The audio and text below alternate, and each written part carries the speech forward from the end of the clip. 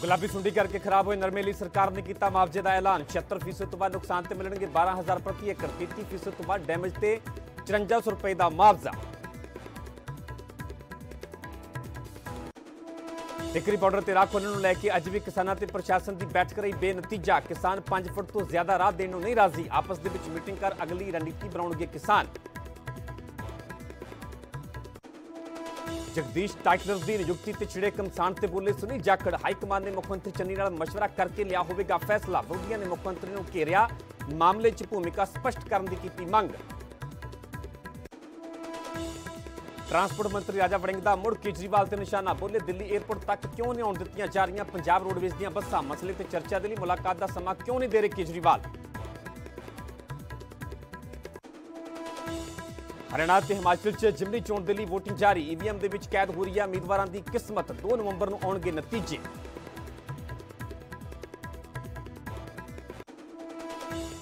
ਦੀਵਾਲੀ ਤੇ ਮਿਲੇਗਾ Jio ਦਾ Jio ਫੋਨ ਨੈਕਸਟ। 1999 ਰੁਪਏ ਦੇ ਵਿੱਚ ਕਰਨੀ ਹੋਵੇਗੀ ਡਾਊਨ ਪੇਮੈਂਟ। ਆਧੁਨਿਕ ਤਕਨੀਕ ਦੇ ਨਾਲ ਲੈਸ ਹੈ Jio ਦਾ ਨਵਾਂ ਫੋਨ।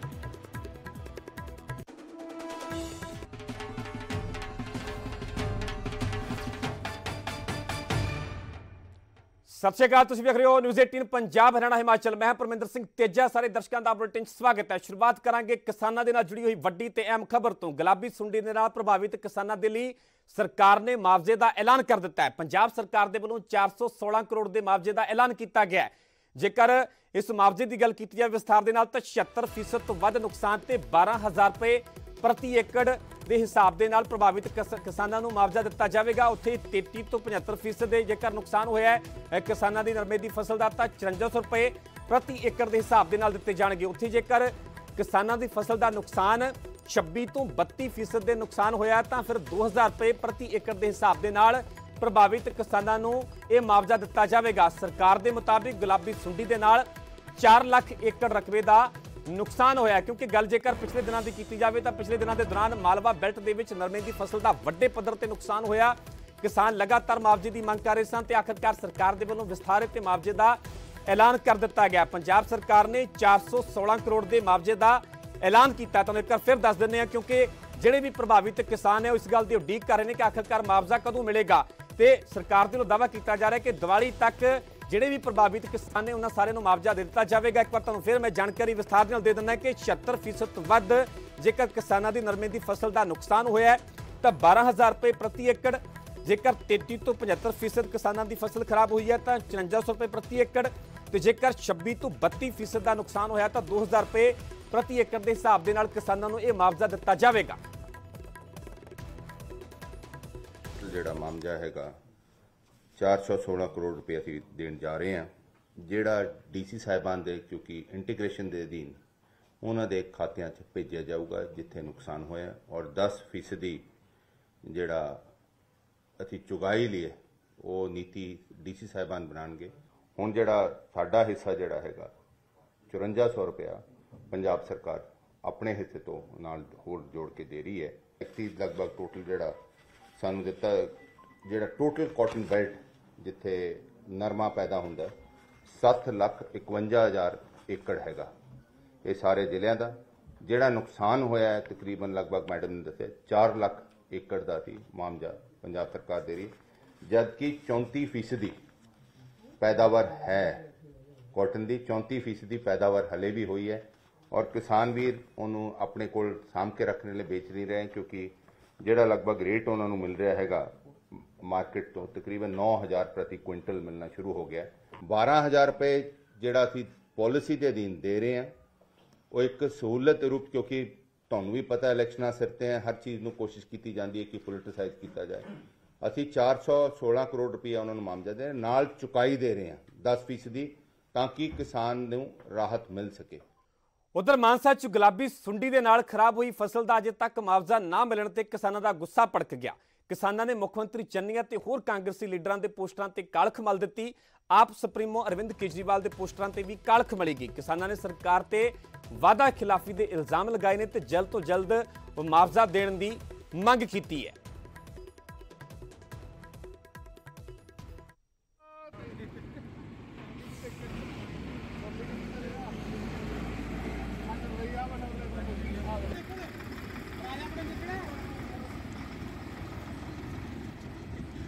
ਹੁਣ ਗੱਲ ਕਰਾਂਗੇ ਅਜਿਹੇ ਮੁੱਦੇ ਦੀ ਜਿਹੜਾ ਕਿ ਸਿਆਸੀ ਫਿਜ਼ਾਵਾਂ ਦੇ ਵਿੱਚ ਖੂਬ ਗੂੰਜ ਰਿਹਾ ਹੈ। ਦਰਸਲ ਉਹ ਮੁੱਦਾ ਹੈ ਟਾਈਟਲਰ ਦੀ ਦਿੱਲੀ ਕਾਂਗਰਸ ਦੇ ਵਿੱਚ ਨਿਯੁਕਤੀ ਤੇ ਇਸੇ ਹੀ ਮੁੱਦੇ ਤੇ ਨਿਊਜ਼ 18 ਤੇ ਸੁਨੀਲ ਜਾਖੜ ਦੇ ਵੱਲੋਂ ਵੱਡਾ ਬਿਆਨ ਦਿੱਤਾ ਗਿਆ ਜਾਖੜ ਦਾ ਕਹਿਣਾ ਹੈ ਕਿ ਪੰਜਾਬ ਦੇ ਲਈ ਬੇਹੱਦ ਸੰਵੇਦਨਸ਼ੀਲ ਮੁੱਦਾ ਹੈ। ਹਾਈ ਕਮਾਨ ਨੇ ਸਲਾਹ مشਵਰੇ ਤੋਂ ਬਾਅਦ ਇਹ ਫੈਸਲਾ ਲਿਆ ਹੋਵੇਗਾ। ਹੋ ਸਕਦਾ ਹੈ ਕਿ ਸੀਐਮ ਚੰਨੀ ਤੇ ਅੰਬਿਕਾ ਸੋਨੀ ਤੋਂ ਇਹ ਫੀਡਬੈਕ ਲਿਆ ਹੋਵੇ, ਕਿਉਂਕਿ ਸੁਨੀਲ ਜਾਖੜ ਇਸ ਬਿਆਨ ਦੇ ਜ਼ਰੀਏ ਕਿਤੇ ਨਾ ਕਿਤੇ ਆਪਣੇ ਨੂੰ ਘੇਰਦੇ ਹੋਏ ਨਜ਼ਰ ਆ ਰਹੇ ਨੇ। ਪਰ ਸਵਾਲ ਹੁਣ ਇੱਥੇ ਵੀ ਬਣਦਾ ਹੈ ਕਿ ਕੀ ਹਾਈ ਕਮਾਨ ਦੇ ਵੱਲੋਂ ਸੀਐਮ ਚੰਨੀ ਤੋਂ ਅੰਬਿਕਾ ਸੋਨੀ ਤੋਂ ਫੀਡਬੈਕ ਲਿਆ ਗਿਆ ਜਾਂ ਨਹੀਂ? ਤੇ ਜੇਕਰ ਜੇ ਫੀਡਬੈਕ ਲਿਆ ਗਿਆ ਤਾਂ ਆਖਿਰਕਾਰ ਫੀਡਬੈਕ ਦਿੱਤਾ ਕੀ ਗਿਆ? ਕਿਉਂਕਿ ਸੁਨੀਲ ਜਾਖੜ ਦਾ ਵੀ ਇਹ ਬਿਆਨ ਸਾਹਮਣੇ ਆਇਆ ਤੇ ਵਿਰੋਧੀ ਪਾਰਟੀਆਂ ਦੇ ਵੱਲੋਂ ਇਸੇ ਬਿਆਨ ਨੂੰ ਹੁਣ ਆਧਾਰ ਬਣਾਇਆ ਜਾ ਰਿਹਾ ਤੇ ਜਾਖੜ ਦਾ ਇਹ ਬਿਆਨ ਆਧਾਰ ਬਣਾ ਕੇ ਕਾਂਗਰਸ ਨੂੰ ਲਗਾਤਾਰ ਘੇਰਿਆ ਜਾ ਰਿਹਾ ਕਿਉਂਕਿ ਸੁਨੀਲ ਜਾਖੜ ਕਹਿੰਦੇ ਨੇ ਕਿ ਪੰਜਾਬ ਦੇ ਲਈ ਬੇਹੱਦ ਸੰਵੇਦਨਸ਼ੀਲ ਮੁੱਦਾ ਹੈ। ਹਾਈ ਕਮਾਨ ਨੇ ਸਲਾਹ مشਵਰੇ ਤੋਂ ਬਾਅਦ ਇਹ ਫੈਸਲਾ ਲਿਆ ਹੋਵੇਗਾ।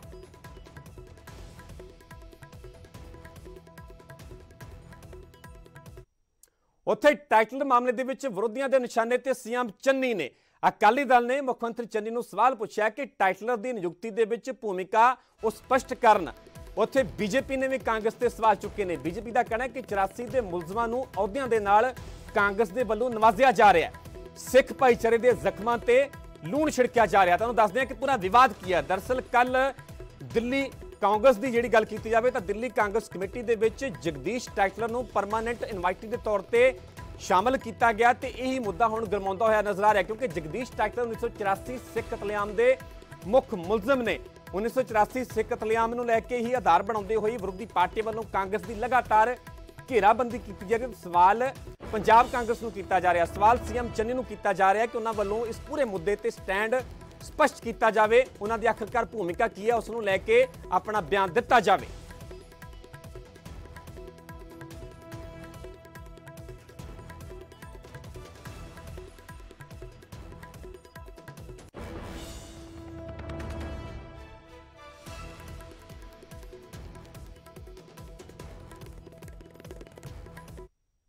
ਪਾਰਟੀ ਵੱਲੋਂ 1984 ਦੇ ਕਤਲੇਆਮ ਦੇ ਦੋਸ਼ੀ ਜਗਦੀਸ਼ ਟਾਈਟਲਰ ਨੂੰ ਕਾਂਗਰਸ ਪਾਰਟੀ ਦੇ ਵਿੱਚ ਨਿਯੁਕਤੀ ਦੇਣ ਦੇ ਸਬੰਧ ਦੇ ਵਿੱਚ ਸੁਨੀਲ ਜਾਖੜ ਨੇ ਜਿਹੜੇ ਸਵਾਲ ਚੁੱਕੇ, ਉਹ ਬਹੁਤ ਹੀ ਗੰਭੀਰ ਹੈ ਉਹਨਾਂ ਨੇ ਕਿਹਾ ਕਿ ਪੰਜਾਬ ਦੇ ਮੁੱਖ ਮੰਤਰੀ ਸਰਦਾਰ ਚਰਨਜੀਤ ਸਿੰਘ ਚੰਨੀ ਔਰ ਕਾਂਗਰਸ ਦੇ ਲੀਡਰ ਅੰਬਿਕਾ ਸੋਨੀ ਲਗਾਤਾਰ ਉੱਥੇ ਜਿਹੜੇ ਆ, ਕਾਂਗਰਸ ਦੇ ਲੀਡਰ ਰਾਹੁਲ ਗਾਂਧੀ ਦੇ ਨਾਲ ਮੀਟਿੰਗਾਂ ਕਰ ਰਹੇ ਸੀ।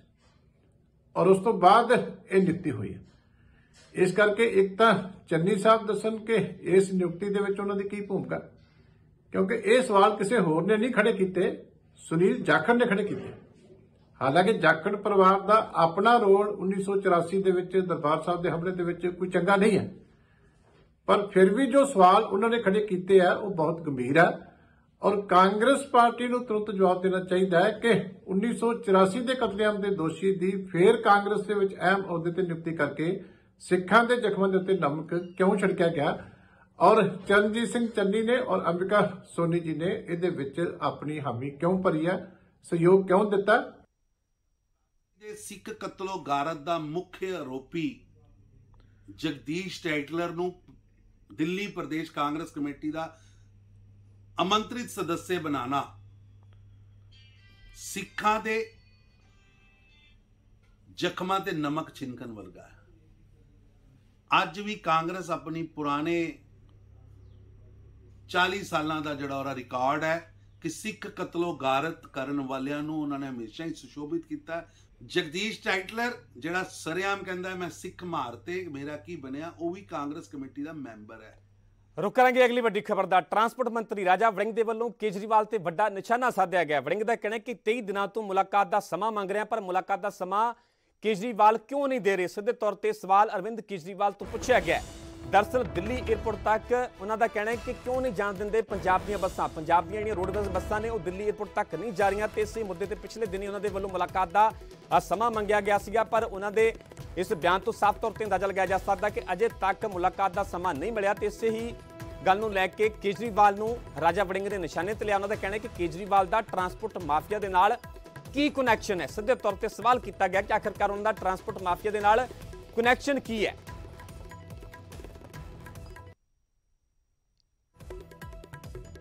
ਰਾਜਾ ਵੜਿੰਗ ਦੇ ਵੱਲੋਂ ਟਵੀਟ ਕਰਦੇ ਲਿਖਿਆ ਗਿਆ ਕਿ 23ਵਾਂ ਦਿਨ ਕੇਜਰੀਵਾਲ ਸਾਹਿਬ, ਅਜਿਹਾ ਕੀ ਰਿਸ਼ਤਾ ਹੈ ਤੁਹਾਡਾ ਪੰਜਾਬ ਟਰਾਂਸਪੋਰਟ ਮਾਫੀਆ ਦੇ ਨਾਲ ਜੋ ਉਹਨਾਂ ਨੂੰ ਬਚਾਉਣ ਦੇ ਚੱਕਰ ਦੇ ਵਿੱਚ ਤੁਸੀਂ ਮੈਨੂੰ ਮਿਲਣ ਦਾ ਸਮਾਂ ਨਹੀਂ ਦੇ ਰਹੇ?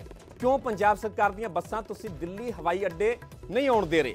ਹਰ ਲੰਘਦਾ ਦਿਨ ਸਪਸ਼ਟ ਕਰਦਾ ਹੈ ਕਿ ਨੀਅਤ ਦੇ ਵਿੱਚ ਆਪ ਦੀ ਆਪ ਦੀ ਨੀਅਤ ਦੇ ਵਿੱਚ ਖੋਟ ਹੈ।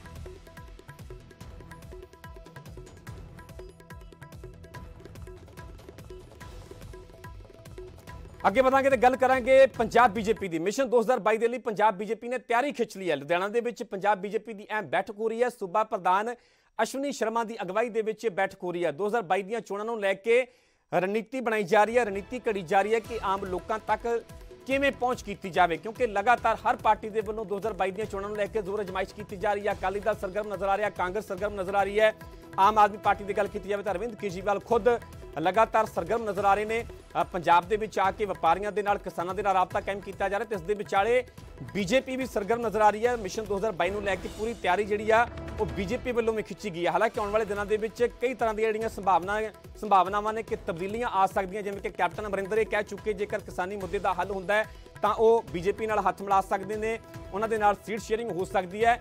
ਆਉਣ ਵਾਲੇ ਦਿਨਾਂ ਦੇ ਵਿੱਚ ਬਹੁਤ ਕੁਝ ਸਾਫ਼ ਹੋਵੇਗਾ, ਪਰ ਬੀਜੇਪੀ ਵੱਲੋਂ ਆਪਣੇ ਪੱਧਰ ਤੇ ਵੀ ਤਿਆਰੀ ਪੂਰੀ ਤਰ੍ਹਾਂ ਖਿੱਚੀ ਗਈ ਹੈ ਤੇ ਮੰਥਨ ਕੀਤਾ ਜਾ ਰਿਹਾ ਹੈ। ਅਸ਼ਵਨੀ ਸ਼ਰਮਾ ਜਿਹੜੇ ਪੰਜਾਬ ਬੀਜੇਪੀ ਦੇ ਪ੍ਰਧਾਨ ਨੇ, ਉਹਨਾਂ ਦੀ ਅਗਵਾਈ ਦੇ ਵਿੱਚ ਬੈਠਕ ਹੋ ਰਹੀ ਹੈ। ਮੰਥਨ ਕੀਤਾ ਜਾ ਰਿਹਾ ਹੈ, ਰਣਨੀਤੀ ਤਿਆਰ ਕੀਤੀ ਜਾ ਰਹੀ ਹੈ।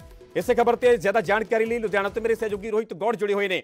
ਰੋਹਿਤ, ਜਿੱਥੇ ਦੂਜੀਆਂ ਪਾਰਟੀਆਂ ਜ਼ੋਰ ਅਜਮਾਇਸ਼ ਕਰ ਰਹੀਆਂ ਨੇ, ਹੁਣ ਮੰਨਿਆ ਜਾਵੇ ਕਿ ਬੀਜੇਪੀ ਦੇ ਵੱਲੋਂ ਪੂਰੀ ਤਿਆਰੀ ਖਿੱਚ ਲਈ ਗਈ ਹੈ, ਮੰਥਨ ਕੀਤਾ ਜਾ ਰਿਹਾ, ਰਣਨੀਤੀ ਤਿਆਰ ਕੀਤੀ ਜਾ ਰਹੀ ਹੈ। ਬੈਠਕ ਬਾਰੇ ਕੀ ਅਪਡੇਟ ਹੈ? ਕੌਣ ਕੌਣ ਇਸ ਬੈਠਕ ਦਾ ਹਿੱਸਾ ਬਣਿਆ ਹੋਇਆ ਹੈ?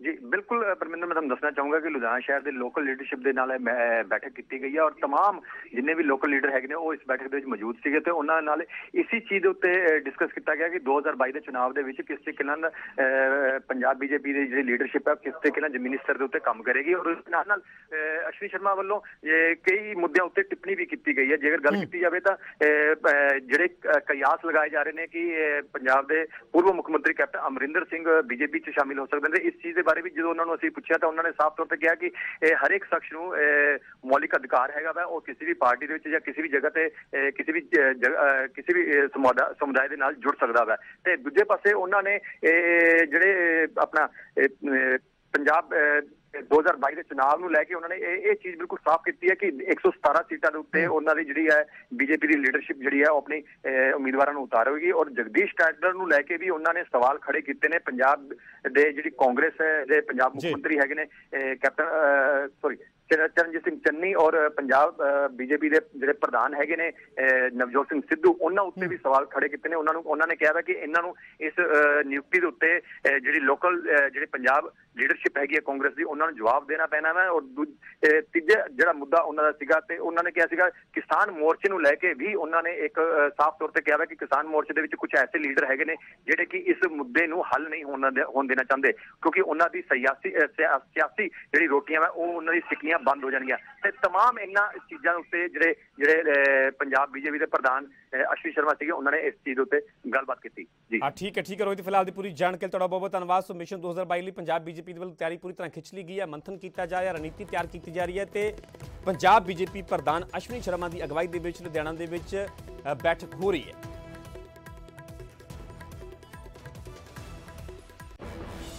ਹੁਣ ਗੱਲ ਕਰਾਂਗੇ ਦਿੱਲੀ ਦੇ ਬਾਰਡਰਾਂ ਦੀ, ਕਿਸਾਨਾਂ ਦੀ। ਟਿੱਕਰੀ ਬਾਰਡਰ ਤੇ ਰਾਹ ਖੋਲਣ ਨੂੰ ਲੈ ਕੇ ਮਤਭੇਦ ਅਜੇ ਵੀ ਬਰਕਰਾਰ ਹੈ। ਅੱਜ ਵੀ ਕਿਸਾਨਾਂ ਤੇ ਪ੍ਰਸ਼ਾਸਨ ਦੀ ਬੈਠਕ ਹੋਈ, ਪਰ ਇਹ ਬੈਠਕ ਵੀ ਬੇਨਤੀਜਾ ਰਹੀ। ਮਹਿਜ਼ 15 ਮਿੰਟ ਹੀ ਦੋਵਾਂ ਧਿਰਾਂ ਦੇ ਵਿਚਕਾਰ ਇਹ ਬੈਠਕ ਚੱਲੀ। ਕਿਸਾਨ 5 ਫੁੱਟ ਤੋਂ ਜ਼ਿਆਦਾ ਰਾਹ ਦੇਣ ਨੂੰ ਤਿਆਰ ਨਹੀਂ ਨੇ।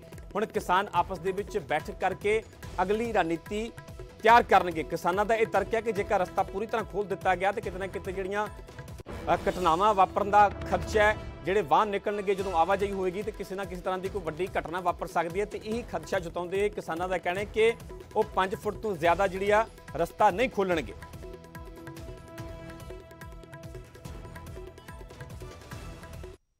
एक एक ही इशू है जी रास्ते खोलने का जी अ, प्रशासन रास्ते खोलना चाहता है हम पूरा रास्ता खोलने के लिए सहमत नहीं ਇਹ ਇਸ ਲਈ ਸਹਿਮਤ ਨਹੀਂ ਹਾਂ ਕਿ 11 ਮਹੀਨੇ ਹੋ ਗਏ ਬੈਠਿਆਂ ਨੂੰ ਪੂਰੇ ਮਕਾਨ ਬਣਾਏ ਆ ਪੂਰੇ ਘਰ ਬਣਾਏ ਆ ਦੋਨਾਂ ਰੋਡਾਂ ਪਰ ਆਮ ਲੋਕ बैठे ਆ अगर पूरा रास्ता खोल दिया जाता है तो रात ਨੂੰ ਸੁੱਤੇ ਪਏ ਆ ਲੋਕ ਕੋਈ ਅਨਕੰਟਰੋਲ ਹੋ ਗਿਆ ਵੱਡਾ ਵਹੀਕਲ तो ਕਿਤਨੀਆਂ ਜਾਨਾਂ ਖਤਰੇ ਦੇ ਵਿੱਚ ਆਉਣਗੀਆਂ ये चिंता का विषय हमारे लिए तो है प्रशासन के लिए कोई ये विषय नहीं है इसलिए ਅਸੀਂ 5 ਫੁੱਟ ਦੇ ਰਸਤੇ ਪਰ ਸਹਿਮਤੀ ਦਿੱਤੇ ਹਾਂ ਕਿ ਆਮ ਪਬਲਿਕ ਨੂੰ ਆਉਣ ਜਾਣ ਦਿਆ ਜਾਏ ਪਰ ਦਿੱਲੀ ਸਰਕਾਰ ਕੀ ਚਾਹੁੰਦੀ ਹੈ ਕਿ ਦਿੱਲੀ ਦੇ ਵਿੱਚ ਨੋ ਐਂਟਰੀ ਤੇ ਹਰਿਆਣੇ ਦੇ ਵਿੱਚ ਜਾ ਕੇ ਐਂਟਰੀ ਹੋਊ ਇਹ ਬਿਲਕੁਲ हमारा तो मकसद क्योंकि इंडस्ट्री वाले सिर्फ हाथ ही जोड़ रहे हैं प्रशासन को भी किसान भाइयों को भी क्योंकि हमारी इंडस्ट्री के लोग मरे पड़े हैं, कोविड ने मार दिया। अब ये इतने टाइम से इंडस्ट्री, अब थोड़ा सीज़न का टाइम आया है। हमारी लेबर सारी दिल्ली भाग के दिल्ली काम कर रही है। सात हज़ार वर्कर जो, सात लाख वर्कर जो यहाँ नौकरी करते हैं, सब बेरोजगार होने के हैं। क्योंकि वर्कर को क्या चाहिए? जहाँ भी तनख्वाह मिलती है, उन्होंने क्या बॉर्डर पर इस तरह पैदल घूम के आना है, कैसे करना है? तो इस तरह का इतनी बड़ी एक विकट समस्या हमारे लिए हो रही है कि हम क्या करें? अभी हमारी इंडस्ट्री 50 परसेंट इंडस्ट्री बंद पड़ी है। लोग अपने घरों से निकल के नहीं आ रहे। अब किसान भाई अड़े हुए हैं, भाई, पाँच फुट का रास्ता, पाँच फुट के रास्ते से क्या करना है? फिर तो ना भी खुले, तब भी कोई बात नहीं। पाँच फुट में सिर्फ़ कोई अपने घर से फैक्ट्री से पैदल तो आएगा नहीं फैक्ट्री में। तो गाड़ियों से ही आना है। अगर गाड़ी से वो एंटर ही नहीं हो पाएगा तो फिर उसका कोई समाधान ही नहीं है। अब तो बहुत हमारे लिए विकट समस्या होती जा रही है। यहाँ से इंडस्ट्री पलायन करनी शुरू। किसान आंदोलन के चलते लंबे समय से वन टीकरी बॉर्डर की बंद सीमा को खोलने के लिए दिल्ली पुलिस ने कोशिशें की थी। रात के समय कंक्रीट की दीवार को भी हटा दिया गया था। टीकरी बॉर्डर की सीधी तस्वीरें आप देख सकते हैं कि जो कंक्रीट से 10 फीट चौड़ी दीवार बनाई गई थी, उस दीवार को पूरी तरह से हटाने का काम यहाँ से पर किया गया। करीब 40 फीट का ये रास्ता दिल्ली पुलिस ने रात के समय खोला है। लेकिन जो किसानों और पुलिस पुलिस अधिकारियों और प्रशासनिक अधिकारियों के बीच में बैठक हुई थी, उस बैठक में सहमति बनी थी कि इस बॉर्डर को खोलने के लिए रास्ता जो है, पाँच से दस फीट का ही खोला जाएगा, क्योंकि कार यहाँ से नहीं गुजरनी थी। सिर्फ़ जो पैदल राहगीर हैं, मोटरसाइकिल हैं, दोपहिया वाहन है, या फिर एंबुलेंस उसी को यहाँ से रास्ता देने पर बात हुई थी। लेकिन रात के समय किसानों से बातचीत किए बिना ही पुलिस ने ये रास्ता खोल दिया है, जिसका किसानों ने जमकर विरोध किया। किसान अब चाहते हैं कि ये रास्ता जो है बाद में खोला जाए। अभी फ़िलहाल किसान नेता हैं, इन्हीं से जानने की कोशिश करते हैं कि आखिर ये रास्ता खुलने पर आपत्ति क्यों? हाँ बार बार यही कह रहे थे कि जब दिल्ली पुलिस ने रास्ते बंद कर रखे हैं तो दिल्ली पुलिस सब खोल रही है, लेकिन आप खुलने नहीं दे रहे हैं। हमारी आपत्ति इसलिए है कि हमारी कोई भी, किसी भी प्रकार की सुरक्षा जो है, कोई सुरक्षा का हमारी का कोई ज़िम्मेदारी नहीं ले रहा। दो दिन पहले हमारी तीन माताएँ शहीद होगी ट्रक चढ़ने से, उसको दुर्घटना मात्र बता करके उसको ख़त्म कर दी गई, कहानी को। कंक्रीट की जो दीवारें बनाई थी ये प्रशासन ने बनाई थी इनको तोड़ भी देते तो भी हमें कोई आपत्ति नहीं थी लेकिन यहाँ किसानों के पास में बैरिगेटों को हटाने का प्रयास जब किया गया तब हमने आपत्ति जताई है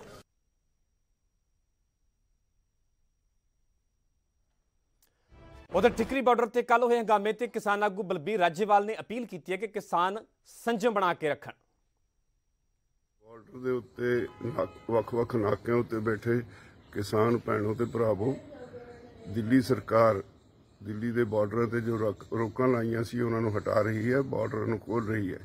ਤੇ ਸਾਡੇ ਕਿਸਾਨ ਭਰਾਵਾਂ ਵਿੱਚ ਕਈ ਵਾਰ ਇਸ ਤੋਂ ਚਿੰਤਾ ਪੈਦਾ ਹੁੰਦੀ ਹੈ, ਜਿਸ ਤਰ੍ਹਾਂ ਕੱਲ ਰਾਤੀ ਟਿਕਰੀ ਬਾਰਡਰ ਤੇ ਹੋਇਆ। ਮੇਰੀ, ਤੁਹਾਨੂੰ ਸਾਰਿਆਂ ਨੂੰ ਅਪੀਲ ਹੈ ਵੀ ਸਰਕਾਰ ਬੁਖਲਾ ਚੁੱਕੀ ਹੈ ਉਹ ਸੁਪਰੀਮ ਕੋਰਟ ਵਿੱਚ ਇਹ ਕਹਿਣਾ ਚਾਹੁੰਦੀ ਹੈ ਕਿ ਅਸੀਂ ਤਾਂ ਬਾਰਡਰ ਖੋਲ ਦਿੱਤੇ, ਕਿਸਾਨ ਨਹੀਂ ਖੋਲ ਰਹੇ। ਸਾਨੂੰ ਇਸ ਲਈ ਖਤਰਾ ਇੱਕੋ ਹੈ ਇਸ ਨਾਲ ਵੱਡਾ, ਜੋ ਵੱਡਾ ਟ੍ਰੈਫਿਕ ਚੱਲੇਗਾ, ਉਸ ਨਾਲ ਹਾਦਸੇ ਹੋਣਗੇ। ਤੇ ਮੇਰੀ ਤੁਹਾਨੂੰ ਸਾਰਿਆਂ ਨੂੰ ਅਪੀਲ ਹੈ ਕਿ ਇਹ ਉਹ ਸਮਾਂ ਹੈ ਜਦੋਂ ਮੋਦੀ ਸਰਕਾਰ ਨੂੰ ਸਾਰੀ ਦੁਨੀਆ ਵਿੱਚੋਂ ਲਾਹਨਤਾਂ ਪੈ ਰਹੀਆਂ ਹਨ। ਤੁਹਾਡਾ ਮੋਰਚਾ ਸਿਖਰ ਤੇ ਗਿਆ ਹੋਇਆ ਹੈ। ਇਸ ਲਈ ਸਾਰੇ ਸ਼ਾਂਤ ਰਹੋ ਡਿਸਪਲਿਨ ਵਿੱਚ ਰਹੋ। ਤੁਹਾਡਾ ਕੋਈ ਕੁਝ ਵਿਗਾੜ ਨਹੀਂ ਸਕਦਾ। ਸਾਡੇ ਕੋਲ ਬਹੁਤ ਸਾਰੇ ਸ਼ਾਂਤਮਈ ਢੰਗ ਤਰੀਕੇ ਹਨ, ਜਿਸ ਨਾਲ ਅਸੀਂ ਇਸ ਸਮੱਸਿਆ ਉੱਤੇ ਵੀ ਕਾਬੂ ਪਾ ਸਕਦੇ ਹਾਂ। ਇਸ ਲਈ ਮੇਰੀ ਤੁਹਾਨੂੰ ਬਾਰ-ਬਾਰ ਸਾਰੇ